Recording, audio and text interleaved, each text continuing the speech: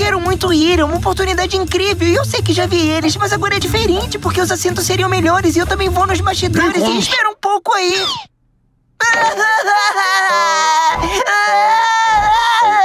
Lincoln,